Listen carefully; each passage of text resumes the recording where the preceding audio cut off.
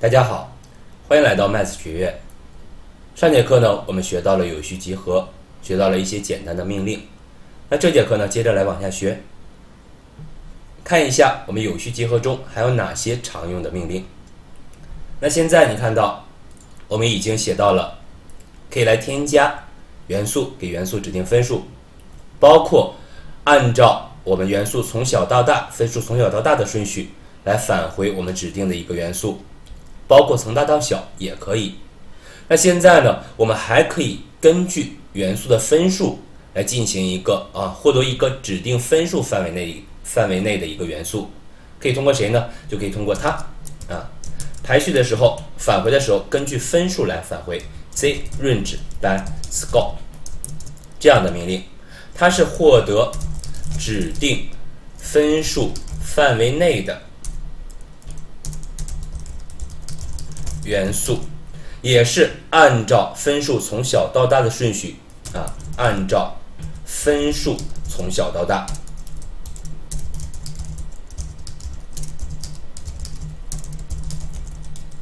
顺序，它返回的是我们的分数在某一个范围内啊，返回的是分数在指定的 min 到 max 之间啊。元素这样的效果，那 z range 呢是啊直接排序完，按照分数从小到大来返回，从你的起始点到结束点。而这个 z range by score 呢，你看到它的语法你就知道什么意思了。z range by score，同样的 p，再加上你要返回分数的最小值到最大值这样一个区间范围内的元素。那在这里边呢，你可以带有我们的分数 with scores，是不是和这个 z range 一样呀？在这边还多一个，多一个选项是什么呢？有点像我们这个 MyCircle 中你限制我们结果集显示条数的 limit 语句。同样的，在这儿你也可以加上我们的 limit。第一个还是我们的偏移量，第二个代表显示的数量，这样的效果。好，那接着我们来看一下，看一个 z range by score 的例子。通过例子呢，你就可以发现。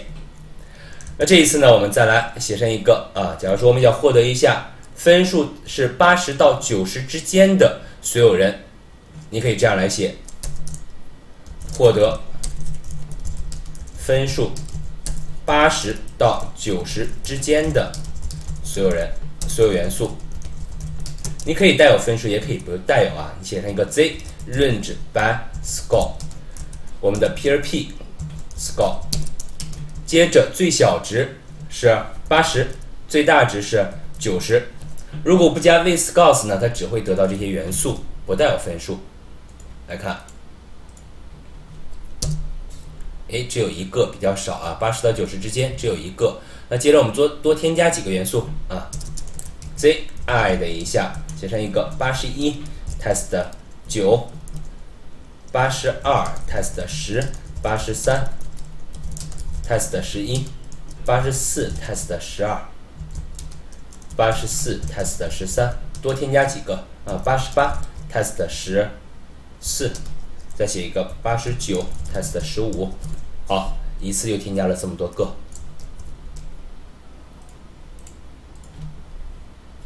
z add 啊，少写了一个集合名称 p r p score。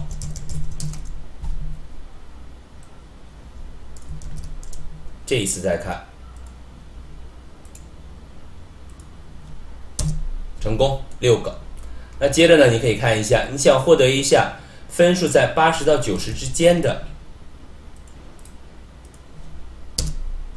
是不是 test 刚才添加的九到十五是不是都显示出来了？没问题。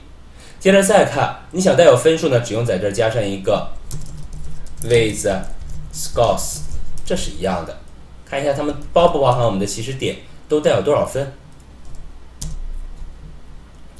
？test 八十分，对吧？啊，接着九十没看着，你也可以再来个九十的。我们再添加一个元素 c add。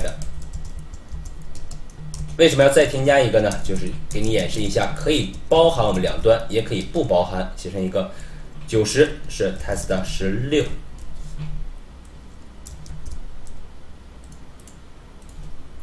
好，成功。接着再运行一下刚才的啊，八十到九十带有分数的。是不是包含我们两端呀？相当于小大于等于八十，小于等于九十。那接着呢，你也可以说，我就要求大于等于八十，但不小于，不包含我们的九十的，小于九十的也可以。你可以这么写：z range by score peer p score。接着是大于等于八十，但是呢不包含我们的九十，这时候可以通过谁呢？通过一括号，代表小于九十。你可以看一下，这时候还能看到我们刚才新添加的这个 test 十六吗？对吧？你看到一直到八十九分，是不是不包含了我们这个九十啊？这样的效果啊，这样的效果也可以。也可以，那同样的，你说八十我也不要，那只用在这再加一个括号是不是就行了？把它一复制啊，就相当于大于八十，小于九十的所有元素，成功。你看是不是不包含我们的八十？可以通过括号不包含我们的起始点，写一个注意，通过括号啊。一边左括号代表不包含起始点，不包含我们的端点啊，这样的效果，不包含端点。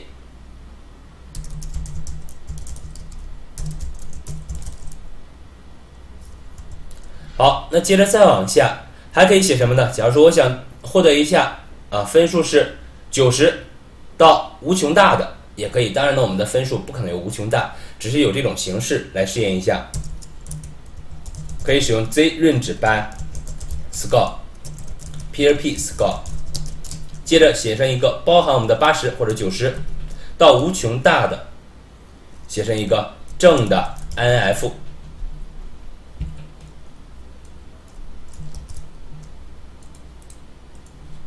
好。你看到有哪些人？这么多人啊！你想带有分数也可以，带有分数，写上一个 with scores，这是我们的所有元素，一共一个、两个、三个、四个、五个人这样的效果。那看到了，就相当于我们的结果集一样。现在我只想返回结果集中的前几个，前几个。那这时候可以跟上我们的 limit 语句。那接着你来看，在在此基础上，我们写成一个 limit 零，零代表我们的偏移量起始点。记住，第一条第一个元素的起始点是从零开始，和我们这个 MySQL 中的这个结果集中是一样的效果。接着写上一个三，代表显示几个元素。你看一下，三个元素应该是 test 十六、math 和 queen。test 十六、math 和 queen 这样的效果。那显示下三个呢？只用把这个三。零变成三就可以了，也行啊，也可以。但是我们一共就这几个元素，那接着变一下，写成一个八十，这就多了。你看，这样就可以。接着你再写上一个三，多少三？下三个啊，下三个元素，同样的也可以，同样的也可以。那接着可不可以给一个值呢？你先看，不加 limit 的时候，这是所有的，一共这么多个，十三个。接着你要写成一个 limit 三，你看是不是语法错误啊？记住，必须要两个，一个是偏移量，一个是显示记录的条数啊，显示几个元素这样的效果。这是我们的 z range by score 也可以。那接着呢，还有一个，它是按照我们分数从小到大的顺序。那接着还和它相反的有一个从大到小的，是。z z rev range by score 是不是和这个 z rev range 是一样的呀？对吧？和它正好相反，它是获得指定分数范围内的元素，也是元素的分数按照。元素的分数从大到小的顺序，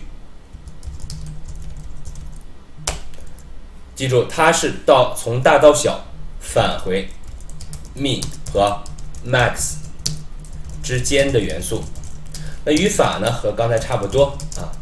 z i v range by score key min max，带有分数 with scores，接着还有一个是 limit offset 加上 count 这样的形式也对啊。那现在可以看一下，简单试验一下就可以。这个呢，有了之前的上一个命令的基础，再看它就比较简单了。score PRP 的 cross score，接着写成一个九十到八十啊，这个反了啊，max 到 min，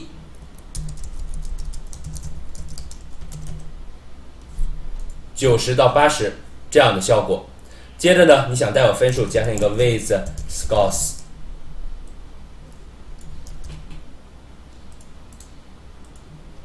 好，九十到八十是不是按照分数从大到小的？记住参数啊，不要写 min 和 max，是 max 和 min，这一点需要注意。那加上一个 limit 也可以，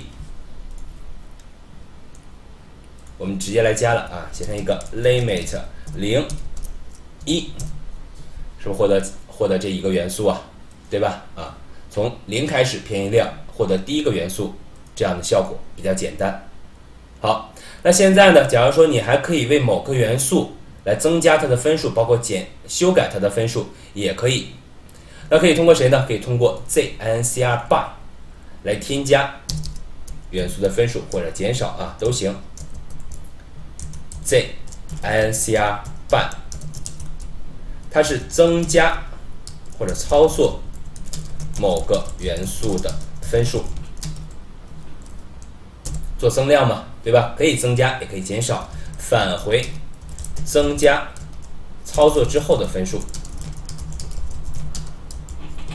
这样的效果。zincr by，那接着呢，它的语法 zincr by 加上一下给哪个元素 increment 加上我们的分数啊，分数接着是 number 给哪个元素来添加。那现在看到一下我们的这个里边元素啊。我们给这个 test 十六已经是九十了，我想给它加五分，对吧？表现好，加了五分，变成九十五，你可以这么写：zincr b 写成一个 PRP score 加五分，接着呢，member 是我们的 test 十六，成功的话返回操作之后的分数，zincr。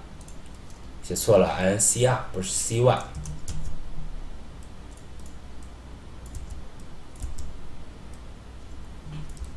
好，我们再来运行。你看到现在 test 十六是不是已经变成了九十五？在之前的时候还是九十，现在变成了九十五。那可以加呢，也可以减。我们再把它减回去，是不是给成一个负的？加上一个负分，是不是就减了？对吧？写成一个负十五，现在它就变成了。八十，好，八十没问题。这是减去分数，也比较简单。那接着呢，我们还可以获得集合中元素的一个数量。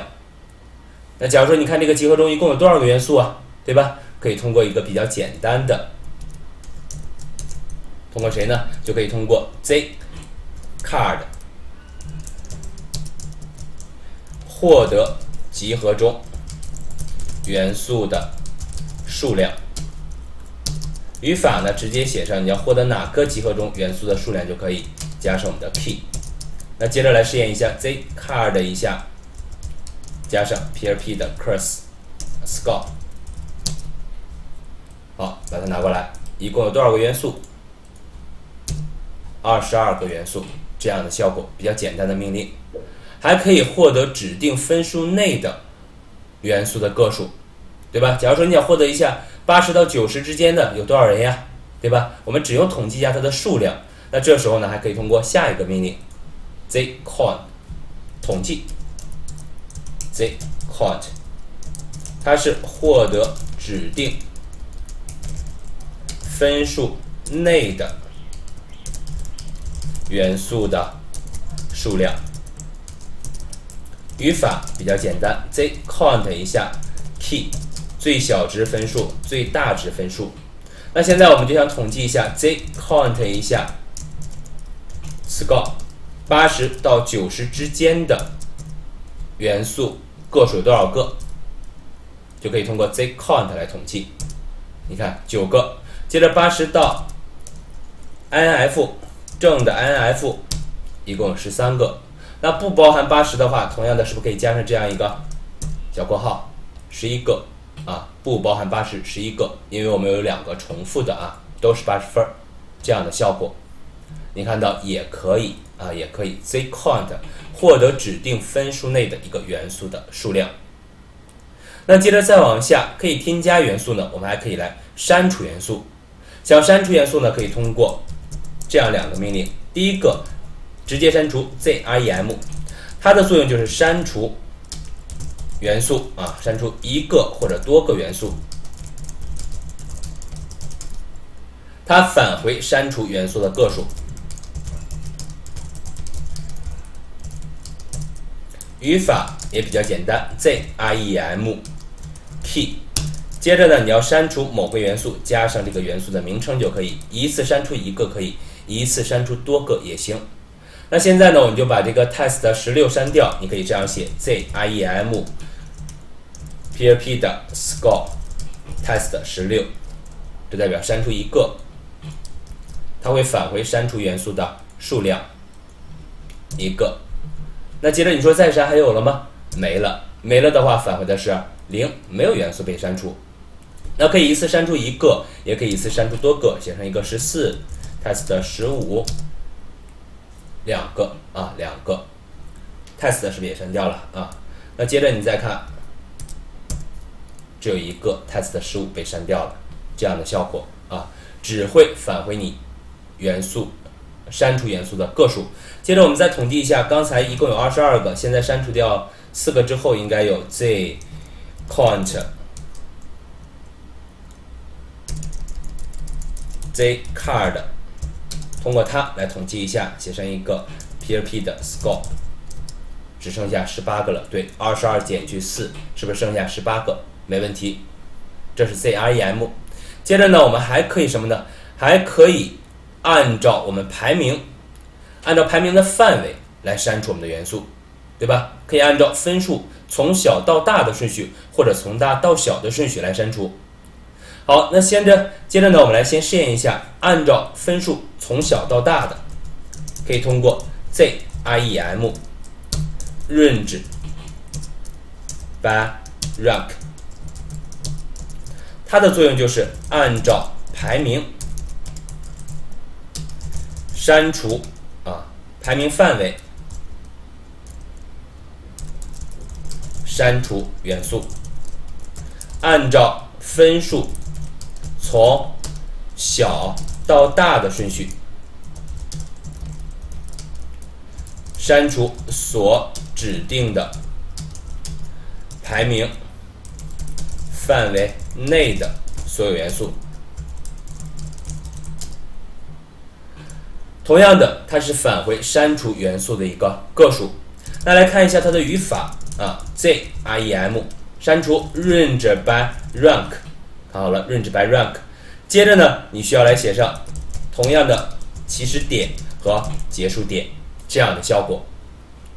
那接着我们来试验一下啊，这里边的起始点还是从零开始，我们再添加一个来试验一下，z i 的 test rem 写成一个一 a 二 b 三 c 四 d，添加几个元素五五 e 六 f 七 g 八 h。一次添加了这么多个元素啊，那现在你可以按照分数的一个排名来删除我们的元素。你可以通过 z range 得到一下 z range test rem 零负一 with scores 从小到大的一个顺序 a b c d。那第一个元素排名是不是起始点是零？它最小，接着第二个、第三个。假如说你想删除前三个最小的元素，这时候你就可以这么写：z r e m range by rank test r e m 零二起始点是零，删除前三个你看一下，删除了三个，返回的是三。那接着你再看，现在只是 D E F 这样的效果了。D E F 啊，比较简单，它的索引也是从零开始，没问题。好，那接着可以按照从大到小，也可以按照我们这个分数，它这个是按照排名啊，按照排名，按照分数的排名。接着呢，我们也可以按照分数这样的排名，按照分数的范围来删除一个元素。它是排名和它对照着这个一起来记啊，十二。Z I E M range by score，对，有这样的命令，它是按照分数范围删除元素。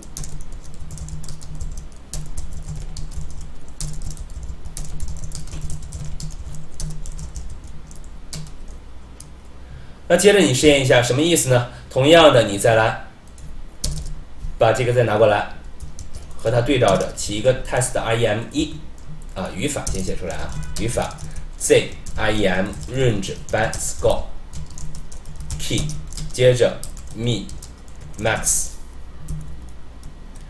那接着试验一下 z rem range by range by score，指定一下分数。